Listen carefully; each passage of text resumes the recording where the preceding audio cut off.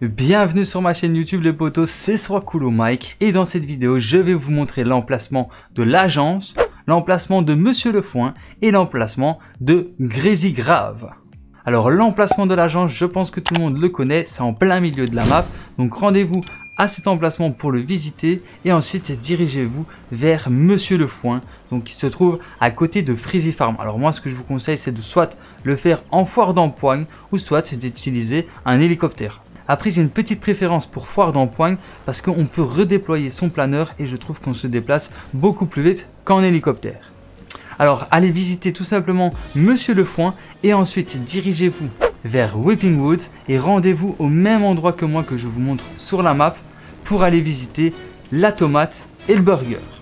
Ensuite, vous aurez validé votre défi et voilà qui termine cette vidéo. J'espère qu'elle vous aura été utile. Si c'est le cas, n'hésitez pas à liker, à partager et à vous abonner si ce n'est pas encore déjà fait.